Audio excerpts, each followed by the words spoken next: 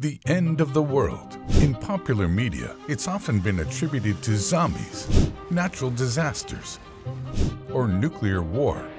But it really wouldn't take that much for society to collapse. All of the conveniences and services we enjoy in the modern world rely on one thing to work electricity. So, what would happen if one day the world suddenly went dark due to a permanent global blackout? Grids across the world would inexplicably shut off, regardless of the energy source. To put it lightly, the whole world will be subject to Murphy's Law. Anything that can go wrong will go wrong. If all the power around the world suddenly went out, the first facet of modern life to go would be our electronics, phones, tablets, laptops and portable gaming consoles would basically turn into very expensive paperweights once they run out of juice. But even if you had an old Nokia lying around, you'd find little use for it aside from playing the odd game of Snake.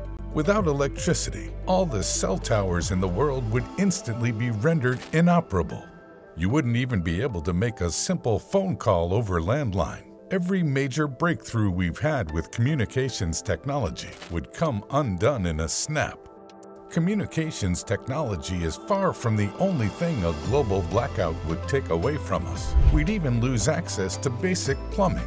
No power means no running water. While tap water comes from natural sources such as groundwater or surface water, it has to be treated first at a water treatment facility. And you guessed it, these facilities depend on electrical power to function and pump the treated water through the pipes.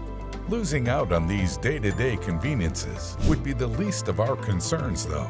For instance, once backup power in hospitals around the world runs out, life-sustaining equipment such as ventilators would cease to function as well. Depending on the hospital's access to off-grid power, this could take anywhere from a few hours to a day once these generators run out of fuel, millions of patients around the world in urgent care would perish. But it only gets worse from here. Days after a global blackout, nuclear reactors will need immediate attention. Once they all run out of emergency power, staff on site would need to act fast and scram any ongoing fissions. If these emergency shutdowns are not completed before backup power runs out, we'd be looking at multiple Chernobyl-style nuclear meltdowns happening all around the world. It's not all doom and gloom, though. Once the dust clears, those who are left will have to adapt. The food production industry, just like all other industries, will grind to a halt. Down the line, people would have to break into warehouses just for a Twinkie Everything you'd normally see in a supermarket would quickly become relics of a bygone era. Once these are looted in the ensuing chaos, everyone would have to go back to farming and agriculture to feed themselves and their families. In this new world, money would likely lose all value. Bank systems would go offline permanently, and electronic cash registers in brick-and-mortar stores would cease to function. As economies collapse around the world, we'd likely see a return to the feudal societies of old, where control of arable land becomes the most valuable commodity.